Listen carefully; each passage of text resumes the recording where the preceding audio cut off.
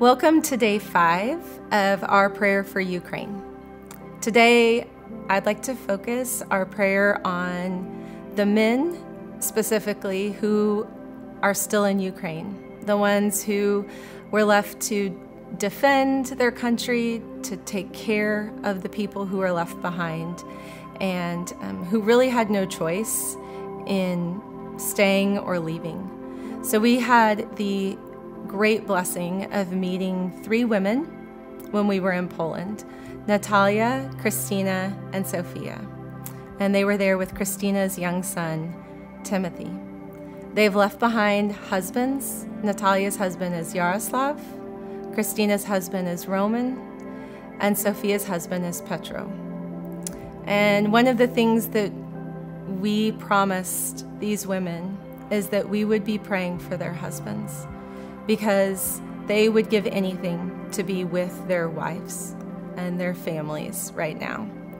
But they are bravely, courageously defending their country, trying to care for the people who have been left behind, who need food, who need medicine, and who need care.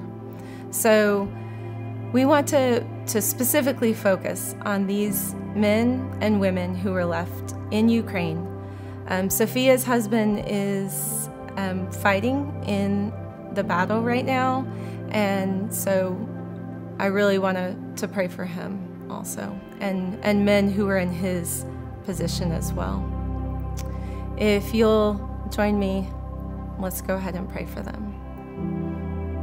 God, I thank you so much um, for being with those people who were left behind in Ukraine the people who are unable to get out because of health, because of their age, or because they need to stay behind and defend their country.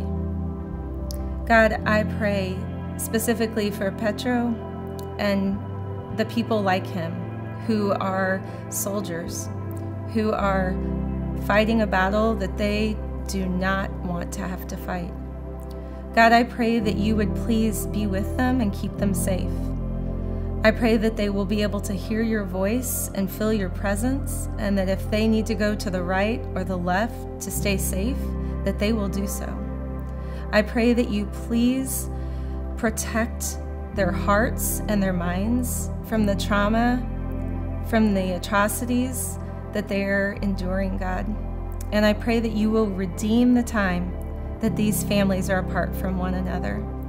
I pray that you will heal their minds and their spirits and their bodies from whatever they endure in this time and in this place. And God, I pray that they will all come to know you, that those who know you would rely on you, that they would feel your presence and your peace even in the midst of war, God. I pray that you will be light in the darkness to them and that you will protect them and guide them and bring these families back together safely, Lord. And God, I pray for an end to this war. And I know you can do it. We know you can do it. And we know it will only be because of you that peace can come on earth. And so we pray that your will will be done on earth as it is in heaven. And please help us um, to bring peace and light wherever we go. We love you so much, Lord, and we thank you for going before us and behind us in all that we do. Please be with these people in Ukraine. And it's in your son's name we pray. Amen.